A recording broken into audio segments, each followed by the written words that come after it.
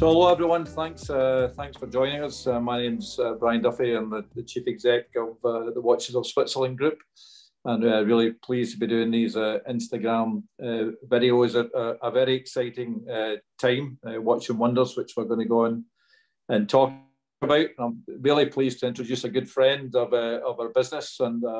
and my guest for today, and that's Bill Prince.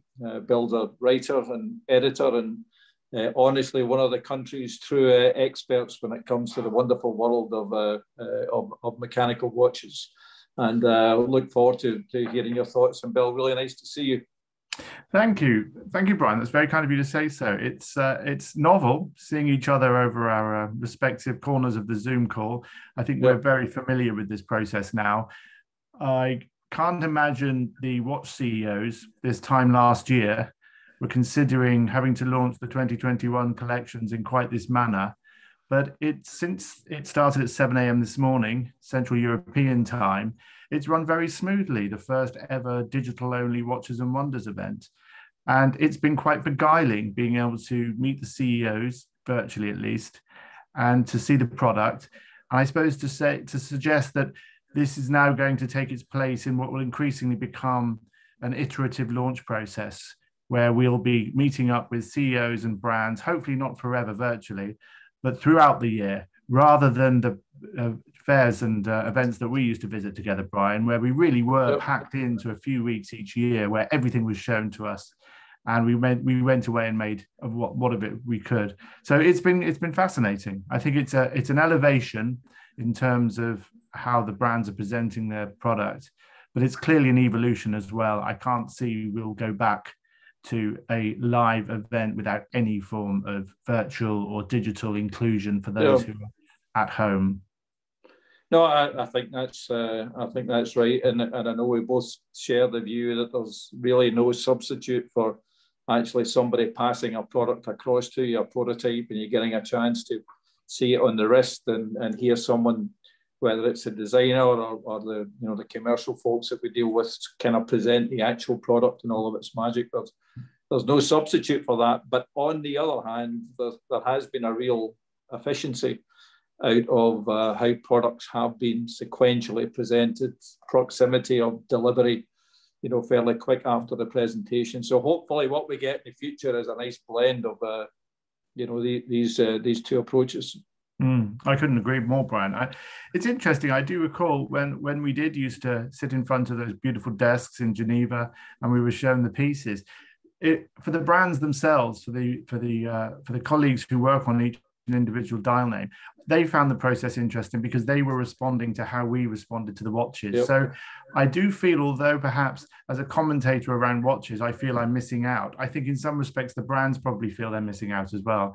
And let's not forget, we do like getting together and on occasion having quite a party when we do. So I think we're all yep. sitting this one out, but we're all ready to go back into the room, as they say.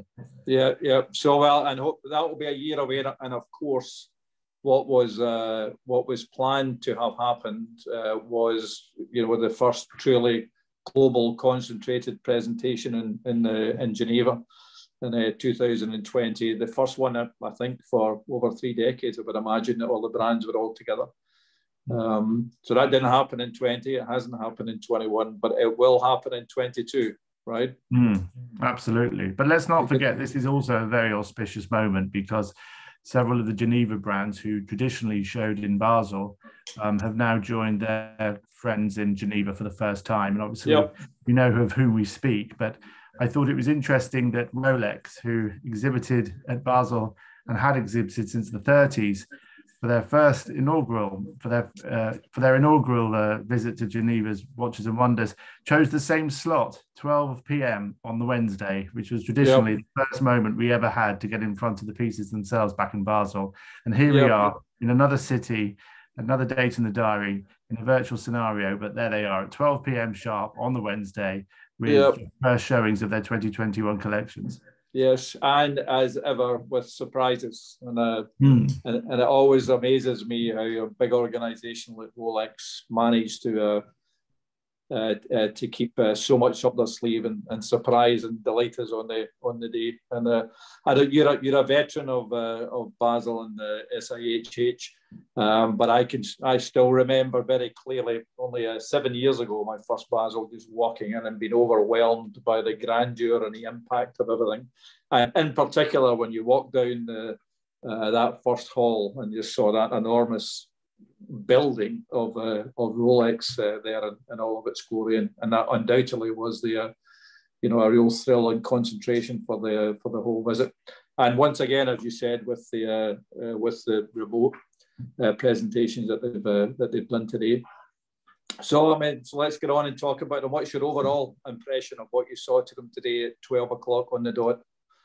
Well, again, I was I was interested to see quite how there's now a mini industry, isn't there, trying to guess what Rolex will do next. And I think we were all reading the runes and following the blogs and deciding whether or not we agreed with them. But we all pretty much understood that a 50th anniversary wasn't going to go unnoticed by yep. a brand like Rolex. So I think we were ready and waiting and excited to see a new Explorer 2. But that is not the talking point of the day. Yep. Funnily enough, it's its predecessor, the Explorer, yep. which uh, has now appeared in a 36 millimeter case, and for the very first time in what the world calls two tone or bicolor, but of course uh, Rolex called Rolesor, which is a, a combination of 18 karat yellow gold and oyster steel. Yep. And I think as much as that's going to blow the doors off the, the, the Twitterati and the Instagram posters, I think what's I suppose the more interesting point for me is that it, it has returned to the original 36 millimeter case size of 1953. And that removes what I consider to be probably the, the single most, uh, what should we say, the, the, perfect 39 millimeter almost entirely from the classic Rolex collection. Now, I think only the Cellini Moonphase is now available in a 39 millimeter case. So yep. it's interesting to see Rolex move away from something that they've used very powerfully for many years and the 36 now is becoming a very, very regular size in the Rolex Classic collection. But yeah. um, we should talk more about the piece, Brian. Were you impressed by it? I, I think it looks beautiful, and I, I, mean, I, I, love you know the heritage stories of of uh, adventure and uh, adventure and developments with, with Rolex, and of course, none more so than uh, than the first exploration of uh, of Everest when it happened. And I think if I've heard the stories correctly, I think Sherpa Tenzing got his watch at a different time from Edmund Hillary and the, and the rest of the uh, campaign. Mm-hmm. Um, but it was their um, experience and advice and commentary and how well the watch had worked that came back and led to the development of the Explorer. So it's a, it's a wonderful story. It really is, and I think I think people can get too can get too obsessed with the detail as to where the watch sat and where it physically went. But I think the overriding impression is that Rolex, rather like Hillary, was using this expedition as an experimentation period as well. And let's not forget that Rolex had been uh, supporting Everest bids since the 30s. So I yeah. think it was almost on the 20th anniversary of their first visit to Everest that a Rolex made it to the top. And I think it's quite interesting to see how, as a result of that, the whole concept of the tool watch and what Rolex now call their professional range or now the classical range is is really started with that explorer model and how that yep. led to how that led to the models we know so well today but they're yep. both very handsome pieces as as i say i think the um, the Rolesor uh, variant will will really kick up some dust i think a lot of the rolex uh, aficionados will be discussing long into the night now how they feel about it. There's been a tendency in the past to suggest that tool watches shouldn't be made available in precious metals. I mean, the real hardcore would rather they don't appear on Jubilee bracelets, for instance. So this is another game-changing Rolex moment. It's a disruptive moment where they Rolex knows that the aficionados will discuss this for, for a long time to come. But the the non-Rolex variant, the stainless steel with the uh, black lacquer dial, is yep. a beautiful, beautiful piece as well and shouldn't be overlooked. I mean, it's a stunning piece, very similar yes. in all attributes to the original 1016. I look forward to seeing it, and uh, and I think you've done something different on the on the hour mark, as if I understood correctly, with the chroma Chromalight, effectively how yeah. you used it. Mm. The impression I got, and of course, and here's a good example of it. If we haven't actually seen it, in the in the flesh. You're not 100 percent sure, but my impression was there was a greater depth to the Chromalight that was being hmm. used, so they have the same kind of impact that a, almost like a sandwich dial would have. Yeah, I think I think I think it's it's commonly held now that Rolex preferred evolution to revolution, as we know, yep. and um, no model comes to market now without um, without subtle subtle improvements made to um, the technology inside. Obviously, in this case, there's a, uh, a new movement from the movement. There is the, as you mentioned, the Chromalight, which has been uh, uh, used more forensically to lengthen the time period in which it remains luminous. I mean, I have to say, I wish I was there and they were dimming the lights and we could see it in all of its deep blue glory. But yeah. that day will come. But yeah, um, yeah it's, it's it's fascinating to see how these uh, small it, small changes build into another addition to the to the legacy that is in this case the Explorer. Yep. But I suppose we should talk about the Explorer 2, which is celebrating the 50th anniversary. Yep. And I suppose you could argue that in this respect, it has undergone possibly more of a overhaul. Um, it remains in this 42 millimeter stainless steel case. Interestingly, it doesn't get a Cerachrome bezel as I think several uh, observers suggested it might do for its anniversary. So it remains yep. in steel. So it's a very, in in that respect, it's very true to the original of 71. But obviously, it comes with all of the uh, more recent attributes, which is now obviously a fully functioning GMT second hand. And the case and lugs have been, as we saw last year, have been very subtly re-engineered to improve the overall ergonomics of the piece. But it's, yep. it's, it's, a really impressive piece. And I think um, it'll be interesting to see whether it galvanizes the, uh, the fans of the Submariner, for instance, to or the GMT Master 2 to come into the Explorer 2 market. Because I think, from my perspective, it's something that's been rather, it's a model that's been rather overlooked, I have to say, in, in recent years. Yeah, no, that's a gorgeous watch. I think it's a, a very recognizable mm. uh, Rolex watch and the 24 hour uh, dial um, on the bezel. So I think it looks great. And and I, you know, something that you mentioned, I think is really important is the uh, the expansion and now almost complete use of the uh, of the new generation of movements that are just mm. so accurate, so robust. I mean, they're, huge technical and uh, uh, functional developments. And of course, that now is uh, now in the whole Explorer collection. So Mm. Uh, it's going to get a lot of attention. We're going to sell everything, of course, that, uh, that Rolex uh, produces, and we're not going to get enough of it. And um, you know, the other thing, of course, is that we are uh, we're only now in March. It was only September. In fact, we're in April.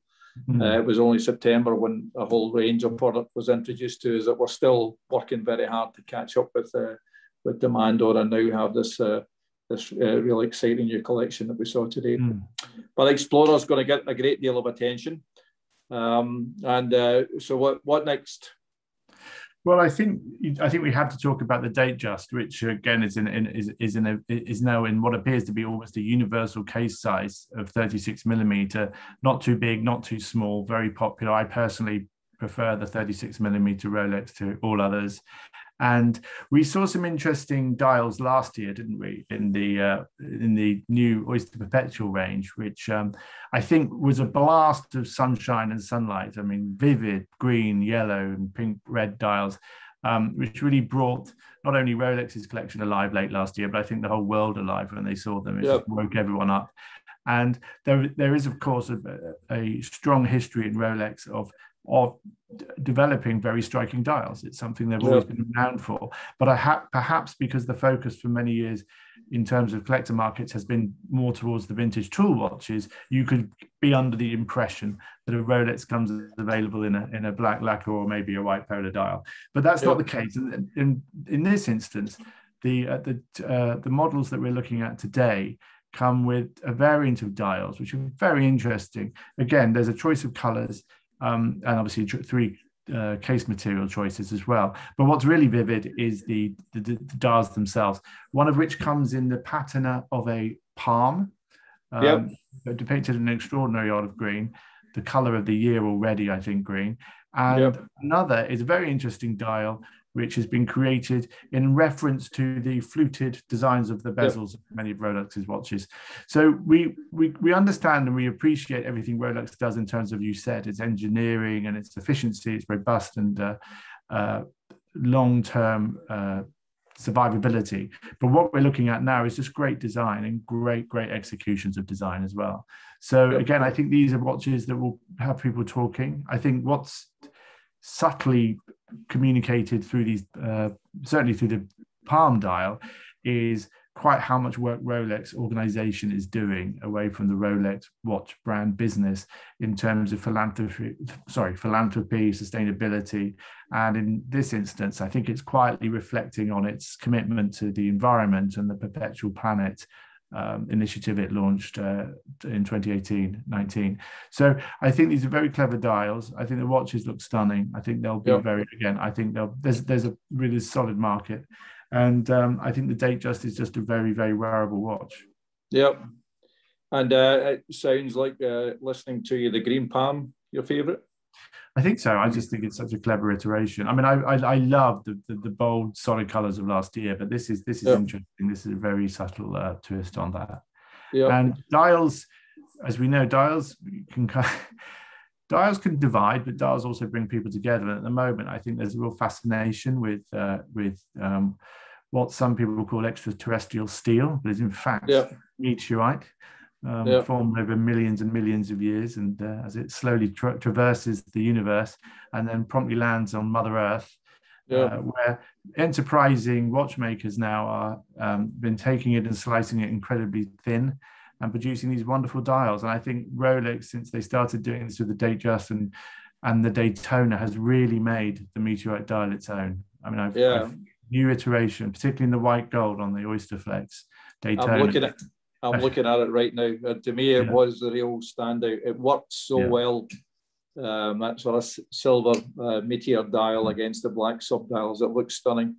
Mm. And uh, I, I, now have the personal dilemma because I have that watch and I, I love it very much. But I think this looks, you know, even of course everything new you see you get excited about. But this is this is a mm. this is stunning on the Daytona. Yeah. Yep. I think, sorry to go on about it, but to be able to hold that white gold in the hand, I mean, just to feel the heft of that piece with yeah. the would be very special. Yeah. So I, I, think that's a really impressive piece that they brought out again this year. It's, yep. uh, it's stunning.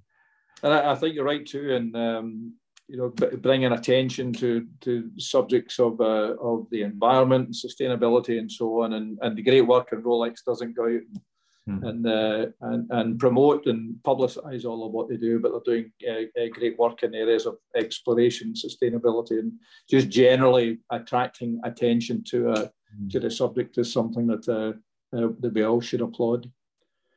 Um, so, yeah, yeah.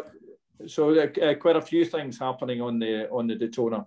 Some uh, some exciting developments on the gold options. Mm, I think we have. I, I, yeah, the white, yellow, and ever rose gold are, are the three um, iterations this year. Yep. And as I said, I think that the um, the Oysterflex, which we have seen before, I think visiting the um, the white gold gives it a real sort of lift because it plays off the black of the dial as well. So there's an interesting there's an interesting uh, dynamic, isn't there, between what we consider to be tool watches that can be made dressier by the change of dial or perhaps the change of bracelet, and then slightly dressier watches which are given a slightly more harder look by given a different outlook. And I think yep. the genius of Rolex in many ways is the way that it does sort of bridge this divide between something that's very classic looking but also very classy as well. It never seems to sit away from where you'd expect to see it. And yep. I think we, we could we could come on and talk a little bit about the Sky Dweller, which I know has also been released. And I think um, that's a wonderful watch. As we know, it's the most complicated piece Rolex manufactured, yep. featuring this incredible uh, annual calendar and um, uh, uh, rod time uh, in a very, very sophisticated mechanism that is deployed simply by rotating the bezel or, or the crown. I mean, it's a very subtle, very, very stealth, clever watch. And yep. it's now been granted the, uh, um, with some jubilation, no pun intended, the Jubilee bracelet, which has yeah. been coming into the range um, in over recent years. So I think there has been this sort of uh, interesting swapping out of certain elements that give a watch a dressier feel or a slightly more tool, a professional feel.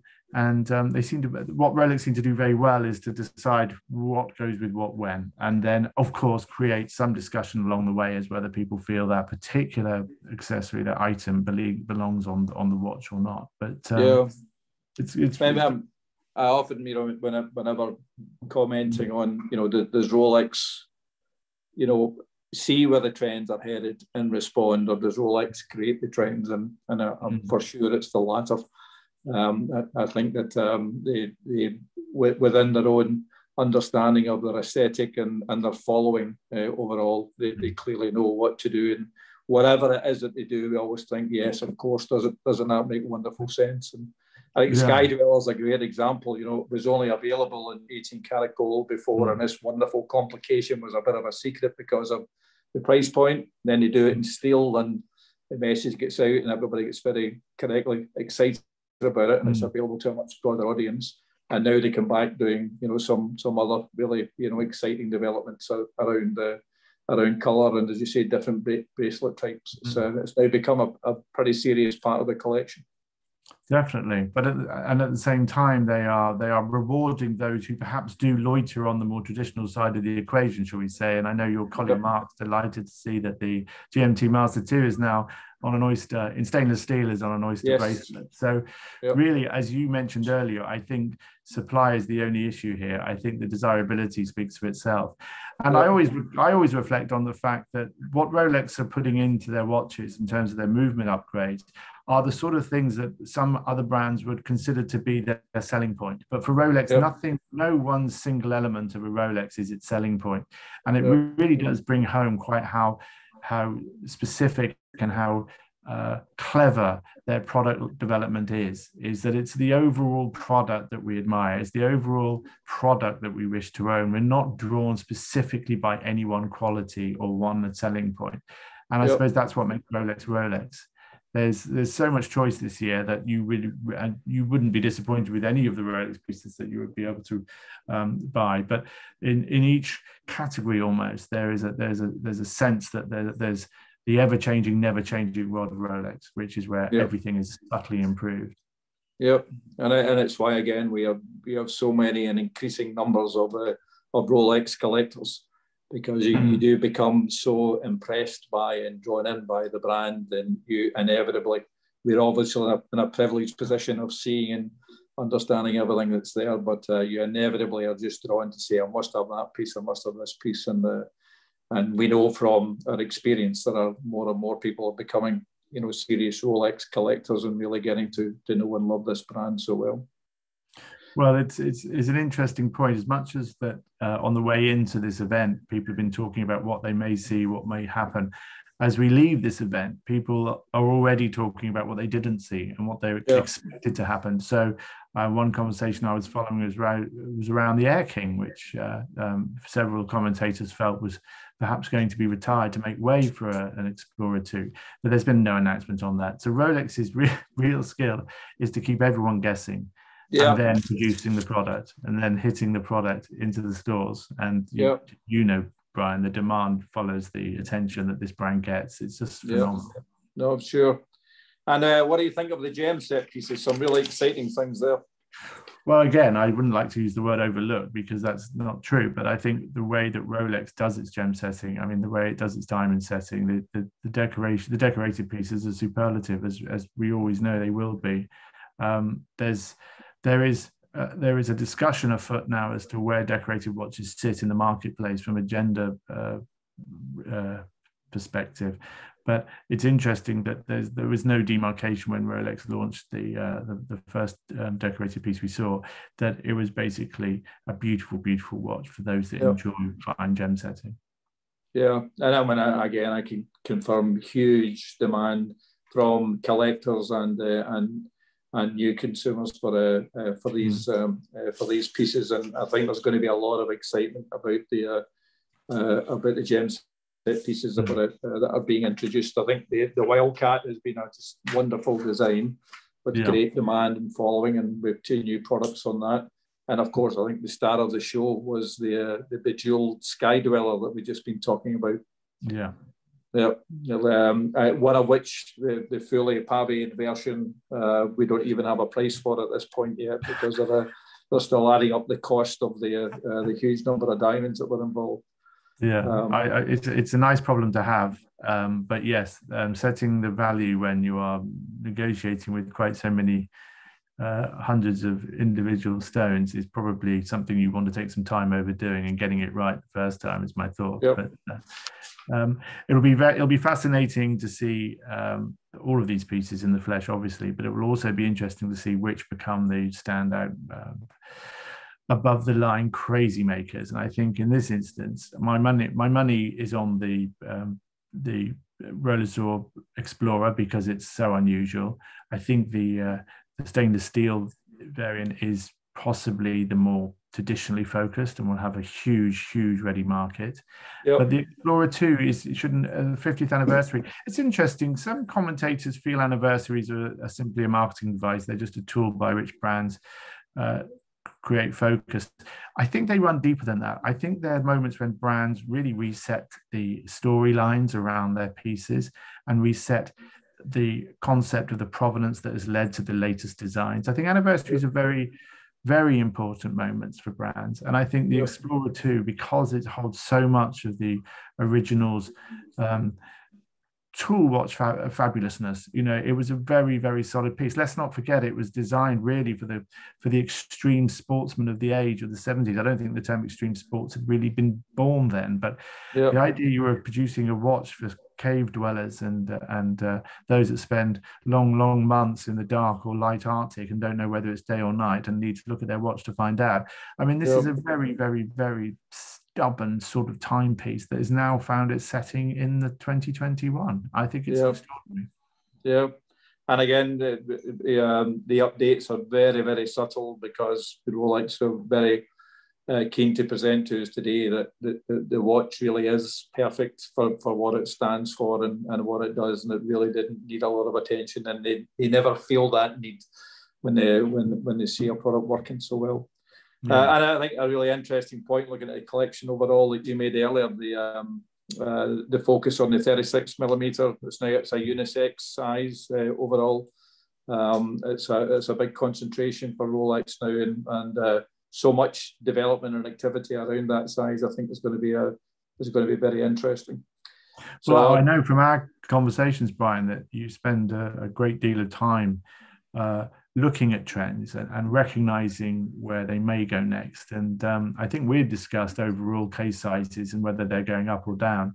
It seems to me that Rolex now have a, have a very, very healthy portfolio of case sizes. Yep. I, I, I could concern myself that the 39 seems to be disappearing, but the fact is they now have, they run the gamut from the 28 and without going into the larger professional pieces, I think the 42 millimeter Explorer 2 just seems to be absolutely the perfect status yep. watch this year yep. if one can find yep. one. Let's hope we can. No, I'd, I'd, agree with that in the same way that the 42 Yachtmaster last year created such a uh, such a following and uh, an impact.